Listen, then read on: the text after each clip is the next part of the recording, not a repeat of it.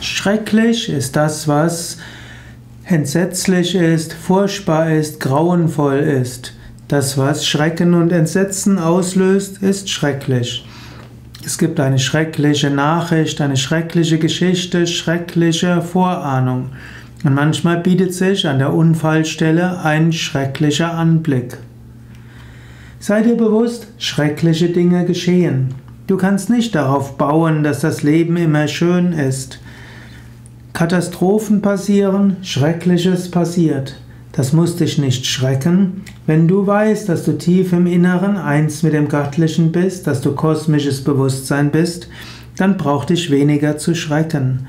Und wenn du auch weißt, dass du von allem lernen kannst, auch von schrecklichen Geschehnissen aus, und dass auch Leben nicht mit dem physischen Tod zu Ende ist, dann kannst du etwas besser mit schrecklichen Dingen umgehen.